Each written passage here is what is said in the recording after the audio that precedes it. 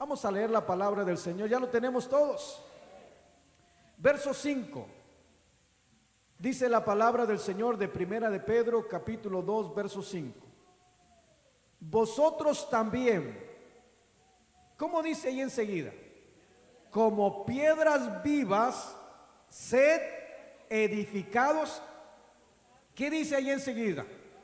Como casa espiritual y sacerdocio santo para ofrecer sacrificios espirituales aceptables a Dios por medio de Jesucristo. Hasta ahí vamos a leer, puede tomar su asiento usted que está en casita y nos está viendo a través de Majestad Televisión o de las redes sociales. Yo le pido su atención en este momento.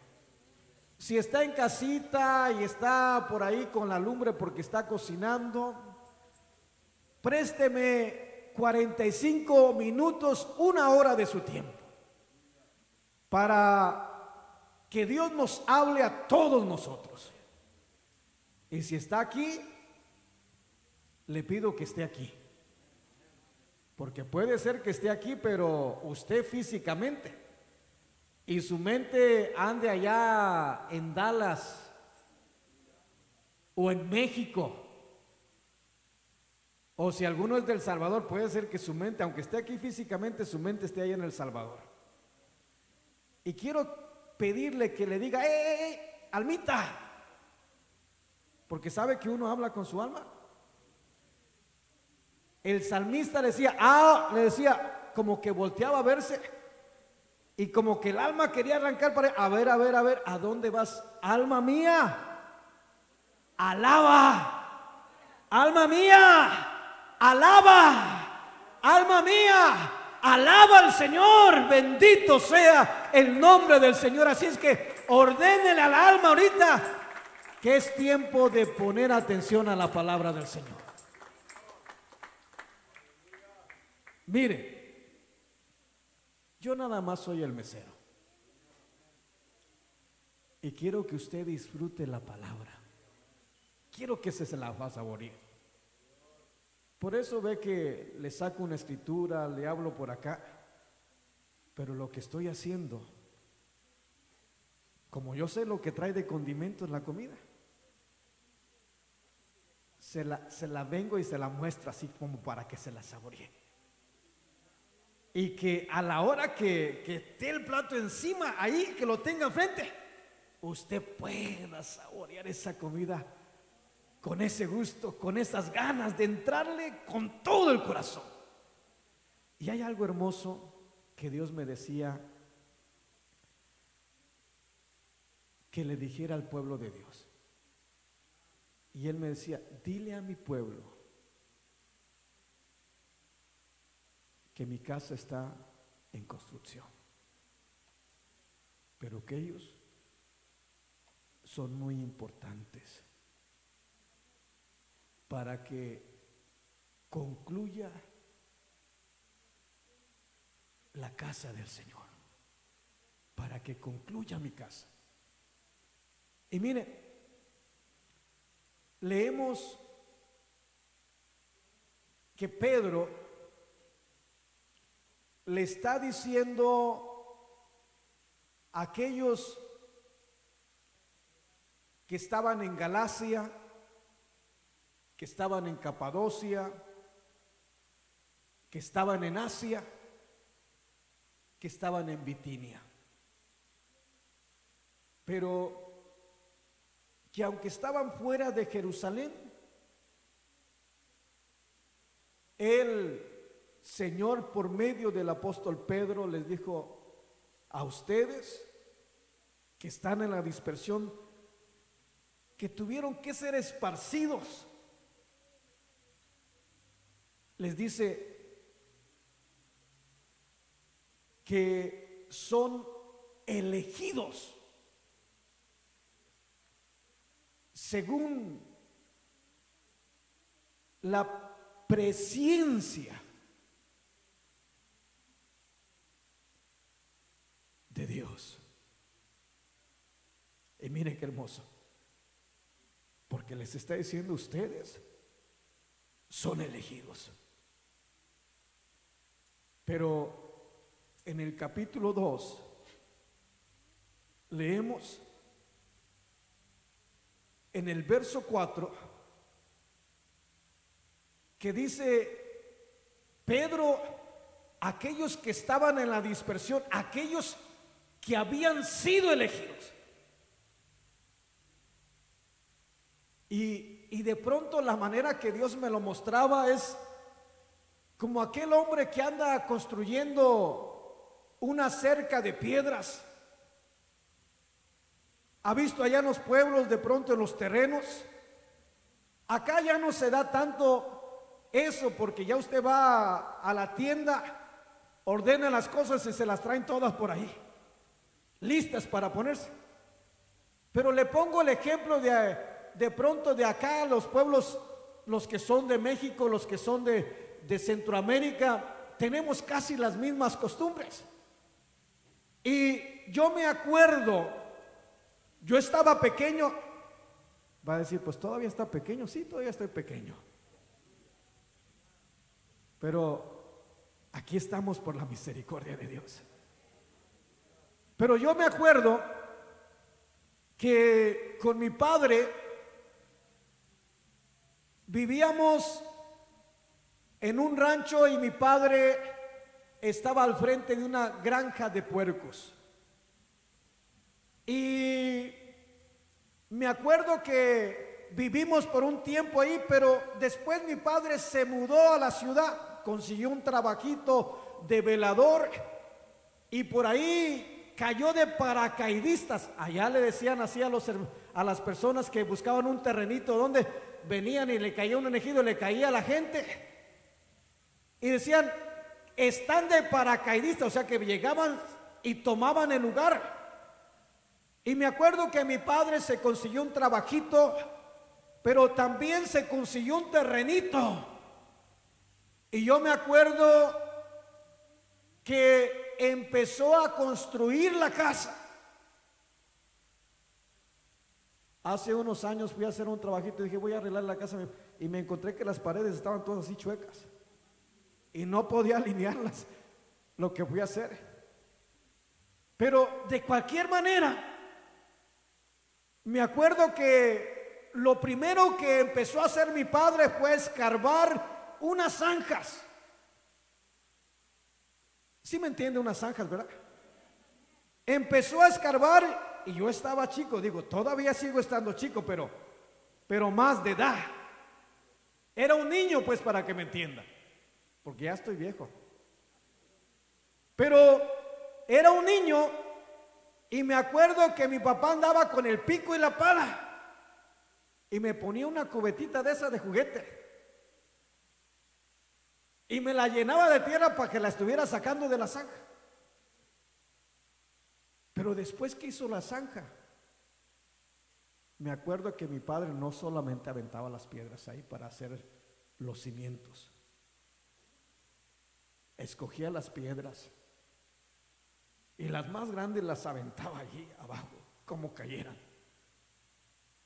Pero después iba buscando piedras que se fueran acomodando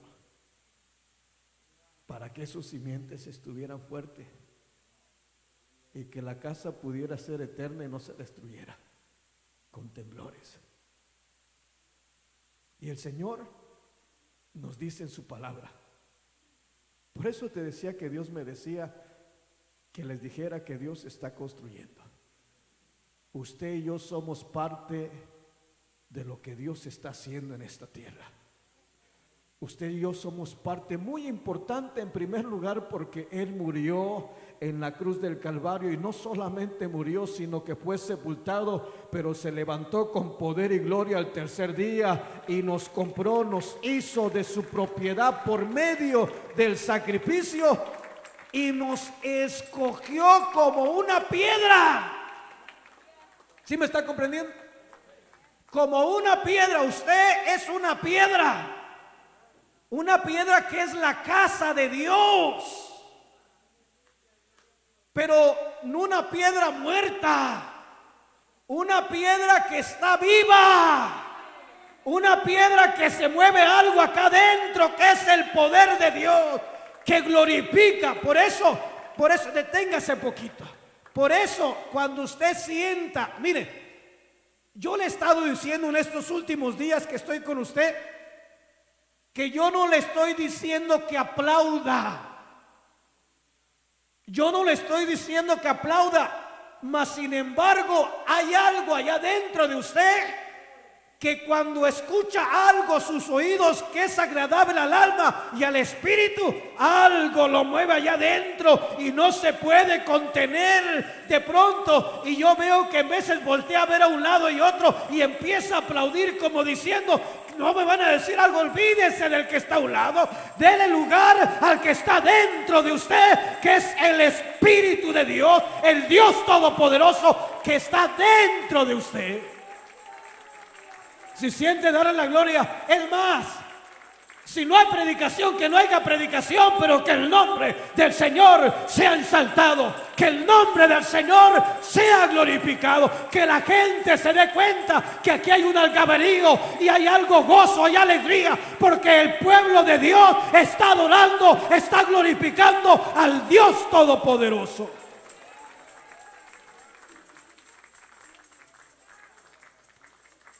Y mire, la palabra del Señor dice, acercándose a Él, verso 4 del capítulo 2, acercándose a Él. ¿Qué más sigue diciendo? Vean en su Biblia, por favor. Acercándose a Él, piedra viva. ¿Qué más sigue diciendo? Desechada ciertamente por los hombres, mas para Dios escogida y preciosa. Oh, si le va a dar la gloria, désela con toda libertad. Yo me detengo, pero que el nombre del Señor sea ensaltado. Acercándose a Él, piedra viva. Y como Él tiene vida, nosotros tenemos vida también, bendito sea, por medio de Jesucristo. Esto está precioso. Y mire qué bendición que usted y yo somos la casa de Dios. Eres su casa, hermana. Eres su casa. Y si Dios mora en ti, no, hombre, esos dolores van a quedar lejos. Porque eres la casa de Dios y tienes a un Dios vivo, a un Dios poderoso. Dele la gloria al Señor con todo el corazón. Désela, porque Él es digno de alabanza y de gloria.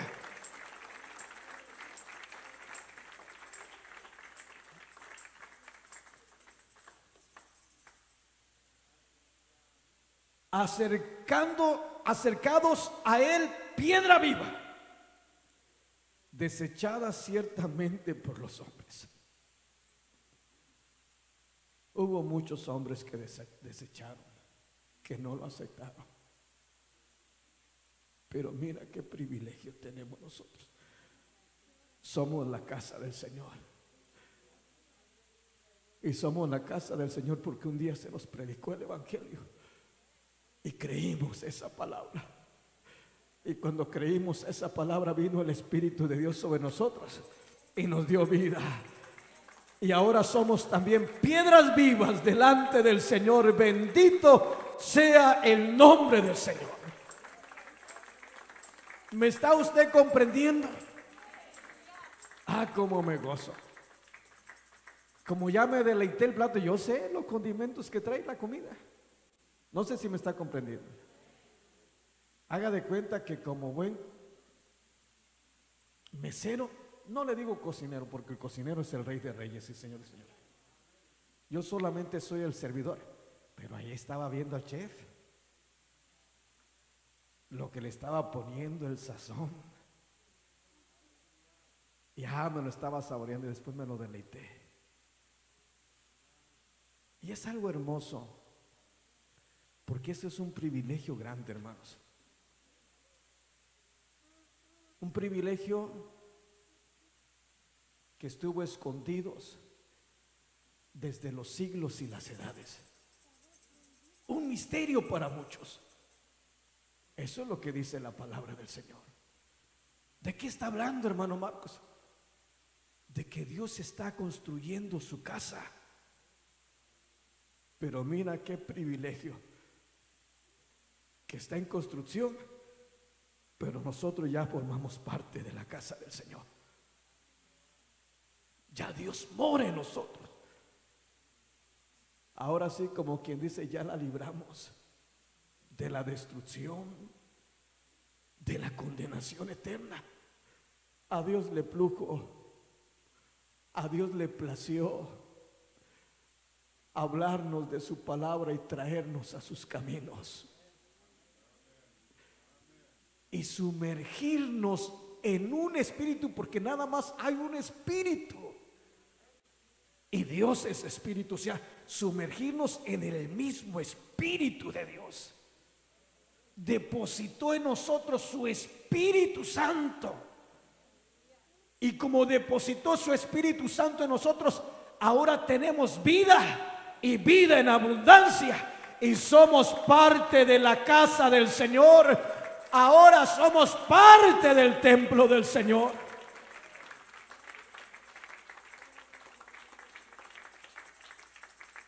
Y eres una piedra escogida, no eres cualquier piedrita. ¿Sí me estás comprendiendo? No eres cualquier piedra. El Señor te escogió. El Señor la escogió, hermana. Hermano, el Señor la escogió.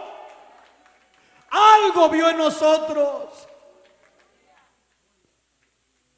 Cuando Satanás nos tenía hasta lo más sumergido entre lo más inmundo del pecado. Allá volteó a mirar y de lo vil y de lo menospreciado escogió Dios. Y Dios nos escogió cuando no valíamos nada, cuando Dios, cuando para la gente, cuando para el mundo no teníamos valor. Dios volteó a mirarnos y tomó aquella piedrita, aquella piedrita que no le hacían caso, le empezó a limpiar por fuera, empezó a verla donde podía caber en el templo, en la casa del Señor. Y ahora somos piedras vivas. Bendito sea el nombre poderoso de Dios. Ahora somos la casa de Dios. ¿Sí me está comprendiendo? escogidos. Y nosotros no buscamos a Dios, dice el Señor. Ustedes no me buscaron a mí, dice el Señor. Yo, yo los busqué a ustedes. Vino nos buscó, nos encontró, nos limpió y nos puso en los cimientos y Dios está construyendo su casa. Si me está entendiendo cuando digo Dios está construyendo su casa? Porque Él ya no habita en templos hechos por manos de hombre. Él dio la orden que no quedara piedra sobre piedra que fuera derribada. Todo aquello humano, todo lo terrenal va al suelo. Porque el hombre viene y se apropia de las cosas materiales. Y dijo, yo voy a hacerme una casa a mi gusto voy a ir a morir. Voy a ir a pagar un precio para hacerme de este terrenito y todas las piedras que están allí. Traerlas y empezar a construir mi casa. Y mira qué privilegio tenemos nosotros que Dios nos escogió para ser casa de Dios, para depositar de su Espíritu Santo en nosotros. Oh, bendito sea. Dele la gloria. Yo me detengo. Y si sienten saltar el nombre del Señor, hágalo con libertad porque Él es digno. Es más, esa es la orden de Dios. Usted es la casa del Señor. ya en la casa de Dios, está en construcción. Mira, de pronto te hablo de experiencias personales, porque es la manera que Dios me pone para ilustrarte lo que nos estamos comiendo, lo que el Señor preparó. Yo me recuerdo que fui testigo y anduve con mi padre y, y, no le digo que era una cubetita, digo cubeta, pero en realidad era un bote de, de esos de chiles jalapeños que nomás lo sabía y le ponía un alambre a mi papá. Y me traía con él. Y de pronto se iban en una camioneta por ahí que con mucho esfuerzo y con mucho sacrificio rentaba para irse a traer piedras. Y yo vi y fui testigo de cómo mi padre iba tirando las piedras. Primero le echaba la mezcla y arrojaba la piedra. Unas que apenas si las podía.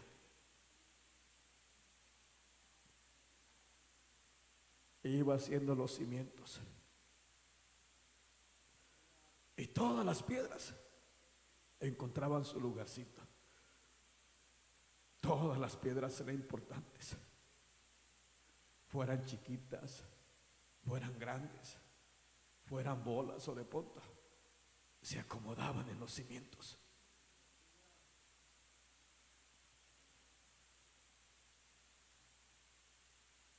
Y como no tenía dónde quedarse mi padre, me acuerdo que en ese tiempo se iba al monte, cortó unos troncos ahí. Y de pronto paró en medio de aquella construcción algo para quedarse ahí, para cuidar que no se llevaran la grava, que no se llevaran la arena. Pero ya estaba ahí. Y te hablo de esta manera, hermanito, hermana, amigo, porque el templo está en construcción, no se ha terminado.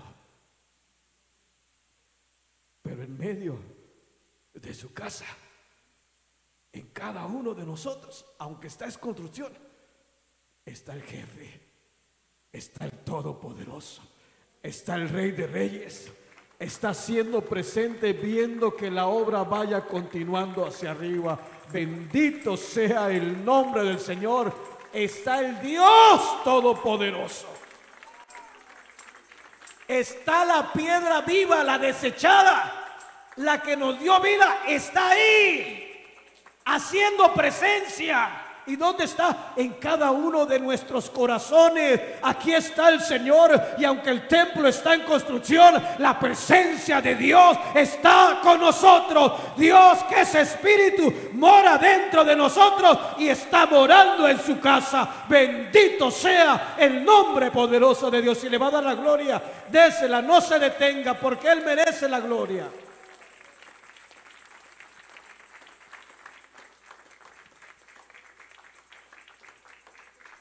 La escritura dice, acercaos a Él, a Cristo, piedra viva, desechada ciertamente por los hombres, mas para Dios escogida y preciosa. Y luego agrega, vosotros también.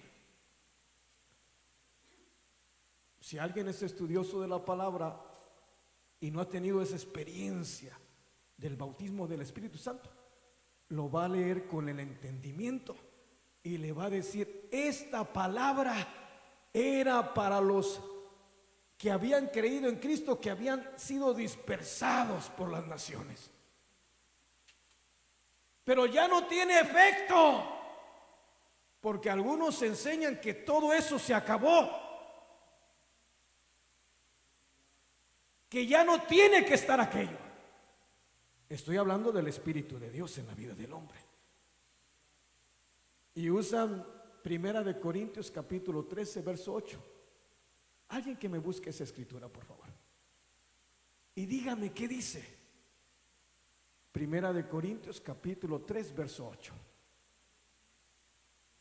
Y habla de que todo se acabaría.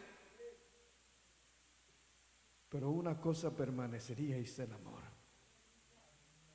Porque habla de la preeminencia del amor, el texto, el contexto. Pero de pronto toman esta porción de la escritura para decir que de pronto cuando alguien llora, cuando alguien grita gloria a Dios o aleluya, para decir cuando alguien es ministrado por el poder de Dios y empieza a hablar en lenguas, dicen que eso ya no se debe ver dentro de la iglesia, pero perdóneme, lo que yo siento acá es real. Lo que yo siento y experimento no es cualquier cosa, cambió mi vida completamente, me dio vida cuando estaba muertos en mis delitos y pecados, vino el Espíritu de Dios y de la vida de esa piedra fue transmitida la vida a esta y me escogió también. Ya tiene el verso 8 del capítulo 13, ¿qué dice? ¿Cómo dice?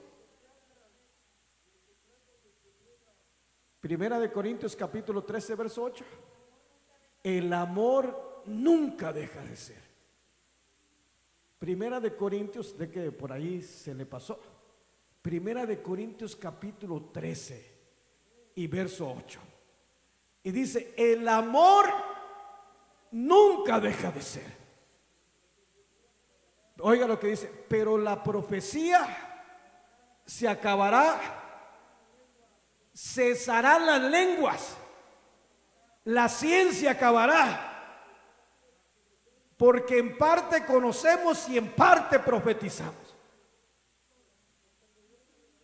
Mas cuando venga lo perfecto, oiga,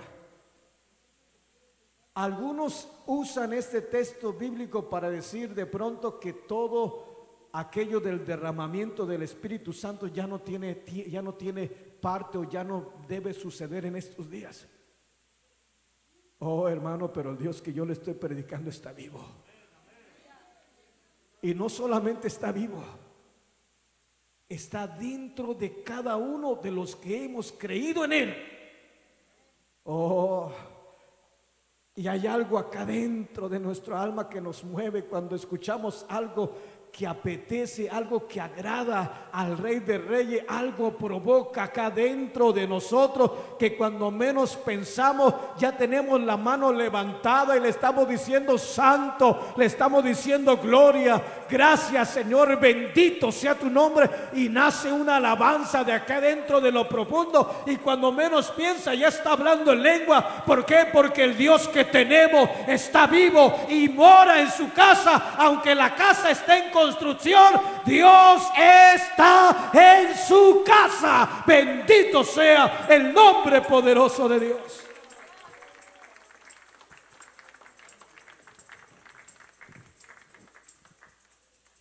Si me estás comprendiendo? Te pongo el ejemplo de mi padre más, más que nada como ilustrarte de lo que estamos viendo en la palabra del Señor para que de alguna manera se nos sea revelado lo que está sucediendo acá dentro de nuestro corazoncito. Yo te digo que mi padre se fue y se trajo unos troncones, decían allá, con una horqueta ahí, y los enterró alrededor de donde estaba haciendo los cimientos dentro de la casa. Y los enterró en una parte y en otra parte dos troncones a un lado y dos al otro. Ya cuando hizo las paredes, quitó los de un lado y solamente dejó allá de pronto una lona que era con la que nos cubríamos. Pero ya estaba en la casa. Una casa que estaba en construcción. Y esta casa está en construcción. ¿Sí me entiendes? ¿Por qué Dios me decía que te dijera que la casa de Dios está en construcción? Y hay muchas piedritas que necesitan ser rescatadas. Hay muchas piedritas que van a ser puestas encima de nosotros. Hay muchas piedritas que necesitan ser agregadas, que todavía el mundo les hace el feo, les hace fuchi. que de pronto ven a alguien que anda sumido en las drogas, le sacan la vuelta. Que de pronto ven a alguien y de pronto se creen de la alta sociedad y no me junto con la chusma y hacen la sociedad diferencia. Oh, mi Dios no hace diferencia. Él fue a morir por todos los que están en esta tierra y ya nos hizo parte de su casa. Pero hay muchos que necesitan ser alcanzados. Y para eso nos tiene a nosotros acá. Haga de cuenta que ustedes son de las mejores escogidas. Esas piedras que van en los cimientos fuertes, sólidas. Ahí lo está poniendo usted. Para empezar a poner los ladrillos, las dalas, empezar a edificar. El fundamento dice, es Cristo. Él es el fundamento. Es la piedra desechada, es la piedra angular, desechada por los hombres, pero para Dios escogida.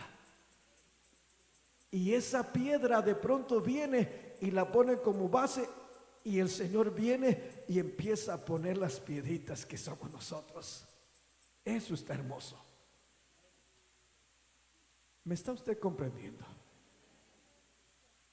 La casa del Señor está en construcción. Y lo que quiero que te des cuenta que qué privilegio tenemos nosotros que fuimos escogidos desde antes de la fundación del mundo. Me dijo, aquí voy a tener unas piedritas donde yo voy a morar, donde yo voy a vivir.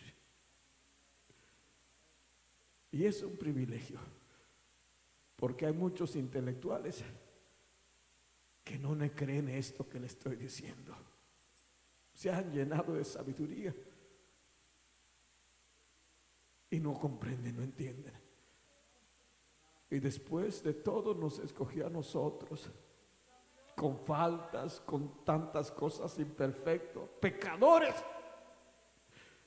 Vino y nos escogió y limpió toda la suciedad y nos colocó en una parte importante para hacernos de su propiedad y no solamente para hacernos de su propiedad, para morar dentro de nosotros. Bendito y alabado sea el nombre precioso del Señor.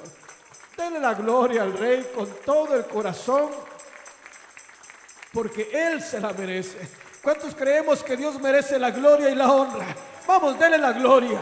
Dele la gloria, dele la gloria, dele la gloria al Señor, dele libertad al Espíritu de Dios que está dentro de ustedes. ¿En cuántos mora el Espíritu de Dios?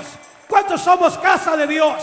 ¿Cuántos somos casa de Dios? Que lo sepa el diablo. Dígale al diablo, diablo, no tienes parte. Acá dentro de esta casa mora el rey de reyes, el señor de señores. Bendito sea el nombre de Dios.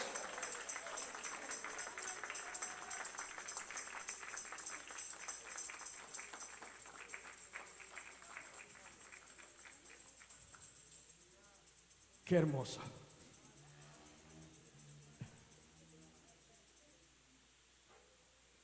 Acercaos a Él, piedra viva, desechada ciertamente por los hombres, mas para Dios escogida y preciosa. Y mira, cuando dice desechada por los hombres.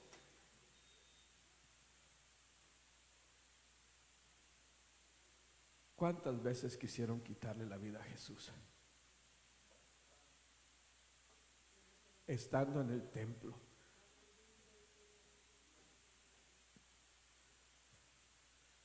La palabra del Señor dice que estando en una de las sinagogas, Jesús le dieron a leer el rollo. Y lo abrió en Isaías. Y les dijo, hoy se ha cumplido esta escritura. Y lo que había leído era algo precioso. Lo que les había leído es que había venido a sanar a los heridos del corazón, a sanar a los enfermos, a dar vista a los ciegos. Y eso les pareció mal a aquellos hombres. Cuando le dijo, hoy se ha cumplido la escritura, dijo, ¿y este? ¿Quién se cree un blasfemo? Lo sacaron. Si me estás comprendiendo?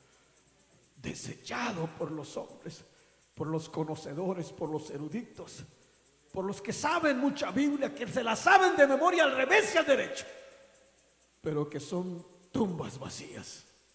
Podrán tener mucho conocimiento de la palabra del Señor, pero su corazón está vacía. Y ahí es donde yo quiero que te des cuenta que la casa del Señor está en construcción, pero el que la está construyendo está morando dentro de cada uno de los corazones y nosotros somos piedras vivas. El Espíritu de Dios ha venido a morar dentro de nosotros. Dele la gloria, dele, yo me detengo y usted salte el nombre del Señor. Por mí no se preocupe. Lo más importante es que si se necesita ensaltar y glorificar al Rey, démosle la gloria que Él se la merece. Dele libertad, en otras palabras, al Espíritu de Dios que está en usted. En muchas ocasiones lo quisieron sacar del templo.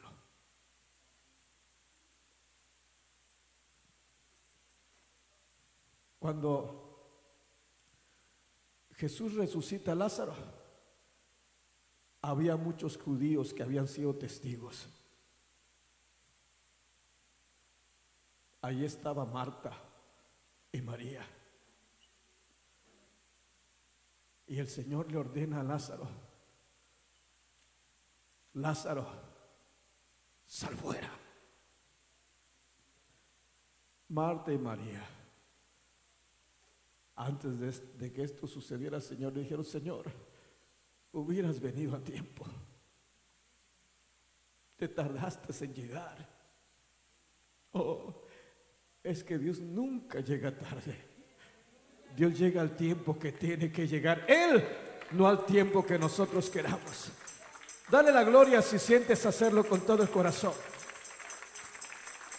Pero lo que estoy haciendo en este momento, te estoy diciendo qué es lo que tiene el plato a donde quiero llevarte, al, al, al platillo fuerte.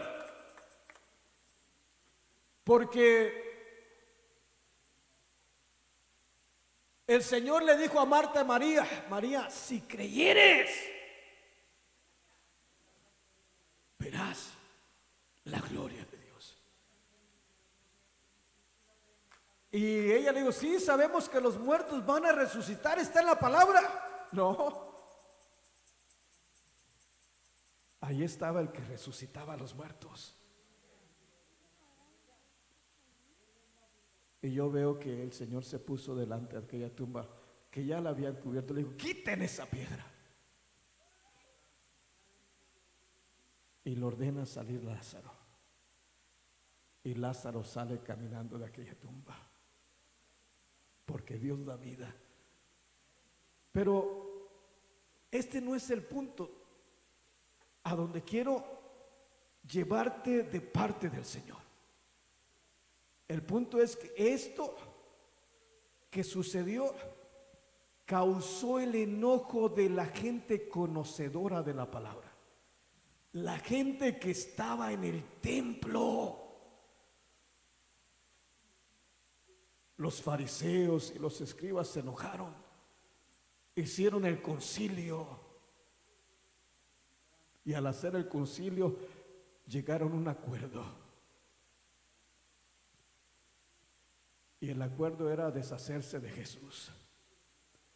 ¿Y sabes por qué? Porque corría en riesgo un templo terrenal. Y dijeron, no vaya a ser que vengan los romanos y derriben el templo. Unas piedras físicas. Si me estás comprendiendo a dónde quiero llevarte, a que tú veas Dios podía hacerse muchos templos. Podía usar al ser humano para hacer un templo y morar dentro de sus templos de materiales. Pero como el hombre lo desechó, como el hombre lo sacó de su propia casa, empezó a construir una hace más de dos mil años, la más grande y la más amplia. Dice el escritor de los Hebreos en el verso 11, el verso 10 del capítulo 9 de Hebreos. La más, por el sacrificio, el más grande y la más perfecto tabernáculo, no hecho por manos de hombre, sino hechos por la misma mano del Señor. Porque usted y yo nadie nos podía cambiar. Nadie nos podía transformar. Los consejos de nuestra madre nunca dieron resultado. Sí nos dolían las palabras que decía, llorábamos, pero al rato andábamos igual. Como dicen por ahí, mi madre nos entraba por una oreja y nos salía por la otra. Y ni los consejos de nuestros padres pudieron hacer un nada. Pero hay uno que nos vio sucios, revueltos vio aquellas piedras entre el lodo, entre la suciedad revolcándose. Y extendió su mano hasta lo más profundo de los abismos, a la inmundicia, y sacó unas piedras que somos nosotros. Bendito sea el nombre del Señor.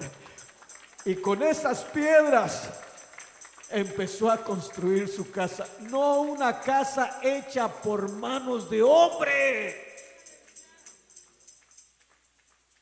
sino hechas por el mismo Dios. Alguien puede decir, hermano, ¿dónde dice eso? Para que no se quede con la duda, vaya Hebreos capítulo 9, verso 10 y verso 11. Y pueda comprenderme del más amplio y más perfecto tabernáculo. Hebreos capítulo 9, verso 10 y verso 11. Alguien que me lo lea. Ya que consiste, está hablando de todo lo que tiene que ver con la vida vieja, con la vida antigua del Antiguo Testamento, ya que consiste en bebidas y comidas y diversas abluciones y ordenanzas de culto acerca de la carne, impuestas hasta el tiempo de reformar las cosas. Pero mire lo que dice el verso siguiente. Pero estando ya presente Cristo, sumo sacerdote de los bienes venideros, por el más amplio y más perfecto tabernáculo, no hecho de manos de hombre, no de esta creación ¿Y sabe por qué no de esta creación? Porque nadie nos podía cambiar a nosotros. Fue necesario que el mismo Dios de los cielos viniera a esta tierra, muriera en la cruz del Calvario, fuera sepultado y resucitara al tercer día con poder y gloria para venir, no de esta tierra, del cielo vino Dios, nos escogió, nos transformó y empezó a formar el más amplio y más perfecto tabernáculo desde el momento que es glorificado. Y a todas aquellas piedras empezó a darles vida. Y empezó a formar su casa. Ahora me entiende por qué le decía que Dios me dijo que le dijera que su casa está en construcción. Nosotros solamente somos parte de su casa, pero hay muchos Todavía hay muchas piedras que están muy sucias, hermana. Todavía hay muchas piedras. Puede ser un familiar nuestro, puede ser un amigo, puede ser un sobrino o una sobrina. No puede ser, nosotros sabemos que es así. Pero nosotros no podemos hacer nada. Pero hay uno que lo puede hacer todo. Hay uno que puede extender su mano, sacarlos de ese lugar, limpiarlos y ponerlos en la casa, ponerlos. Y ahí es donde entramos nosotros. Porque si nos mantenemos sólidos, si no nos movemos de donde Dios nos puso, vamos a ser de bendición. Pero si nos movemos de donde Dios nos puso, puede ser que venga condenación. Y como le digo, no somos cualquier piedra. Somos piedra escogida y con vida. Pero ahí está el peligro porque tenemos vida, nos podemos salir de los cimientos. Y nos conviene estar donde el Señor nos ha dejado. El apóstol Pablo le dice a la iglesia de Gálatas, Gálatas capítulo 5, verso 1, está pues firmes. Quiere decir, no se muevan. Está pues firmes en la libertad con que Cristo los hizo libres. Y no volváis a estar bajo el yugo de esclavitud.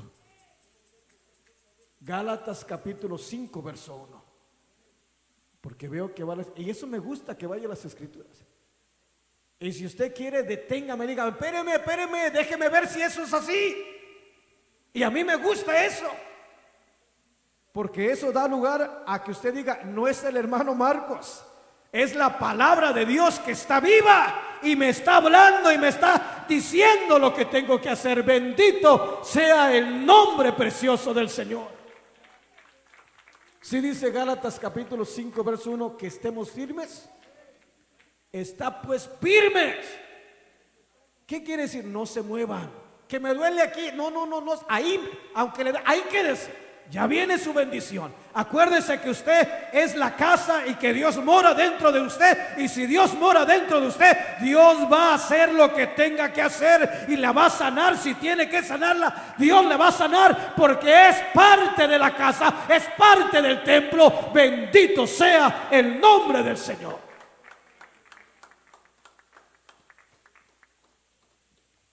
La casa de Dios está en construcción. Eso es lo que me decía Dios que le dijera. Pero me agregaba, diles la bendición que ellos tienen. Y eso está precioso. ¿Sí me está comprendiendo? Ay, Señor, este, este reloj que rápido avanza, ¿verdad? Si apenas voy empezando. ¿Se quiere seguir gozando? Porque esto está precioso. Quiero que se dé cuenta de la tremenda bendición. Si está comprendiendo que Dios está construyendo su casa y está comprendiendo que nosotros somos la casa del Señor, somos piedras que Dios nos ha puesto en su casa. Pero la escritura a través de los salmos dice cosas preciosas. Mire, por ejemplo, vaya al Salmo 91.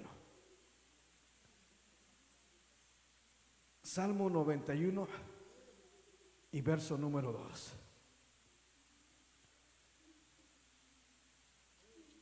¿Qué dice el Salmo 91, verso número 2?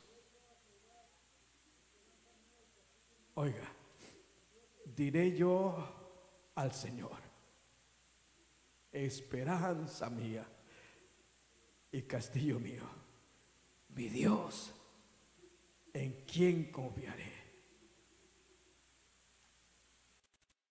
Pero el verso 1 dice algo muy especial.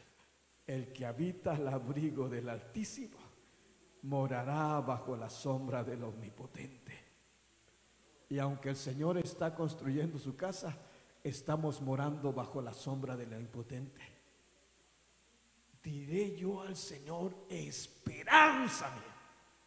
Pero aquí está la bendición porque ahora ya somos parte de la casa del Señor. Y hay muchos que necesitan de ese refugio. Si me estás comprendiendo? Hay mujeres en las calles vendiendo su cuerpo. Y yo no estoy aquí para criticarlas, porque solamente ellas y Dios sabe por qué razón lo hacen. ¿Sabes para qué Dios nos ha puesto en la casa? Es para que esas mujeres que han sido ultrajadas, que han sido maltratadas, que han sido violadas, y que han tenido que seguir ese camino vendiendo su cuerpo porque no les ha quedado otro camino, es porque no tienen un refugio, no tienen a dónde acudir, pero Dios está construyendo su casa y está poniendo piedras vivas para que aquellos que de pronto no tengan un refugio puedan venir al refugio y que encuentren en un hermano, en una hermana, la gloria de Dios, unos brazos abiertos de bienvenida a la casa del Señor, no alguien que lo critique como los demás. O aquel que por las noches queda tirado de borracho en las calles, que la gente no lo quiere, que la gente no lo ve de reojo. Dios está construyendo una casa y somos parte de esa casa. ¿Y sabes para qué? Para que aquel que está a punto de ser muerto o morir por el alcohol tenga un lugar donde refugiarse tenga un lugar a donde venir y hayan unos brazos dándole la bienvenida, diciendo bienvenido, has venido al lugar correcto, has venido a la casa de Dios, has venido aquel que puede cambiar, aquel que puede transformar, aquel que puede hacer cosas maravillosas. Bendito sea el nombre del Señor, porque a Él acudirá el justo.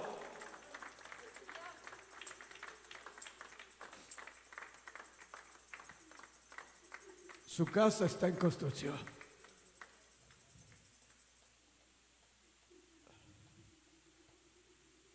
Pero Él mora en su casa. Y necesita traer más piedras. Pero necesita que nosotros estemos firmes para resistir, para aguantar, para ser de bendición a los que vienen. ¿Sí me está comprendiendo? Pero para poder salir victoriosos, para poder ser obedientes, necesitamos que el Espíritu de Dios llene su casa, que nos sature de tu poder. No solamente un poquito, no, hasta que nuestra copa rebose. Y yo quiero invitar a aquellos que quieran ser de bendición yo quiero invitar a aquellos que han comprendido el mensaje que Dios me pidió que les diera, para que se ponga de pie, que levante sus manos y se siente pasar al altar. Venga y le diga, Señor, usa mi vida. Venga y le diga, Señor, pero yo sé que para usarme necesito, Señor, que tú nos llenes. Necesito, Señor, que con tu presencia llenes tu casa. Necesito del bautismo, necesito de la llenura del Espíritu Santo de Dios, Señor. Ven, hermano. Ven, hermana.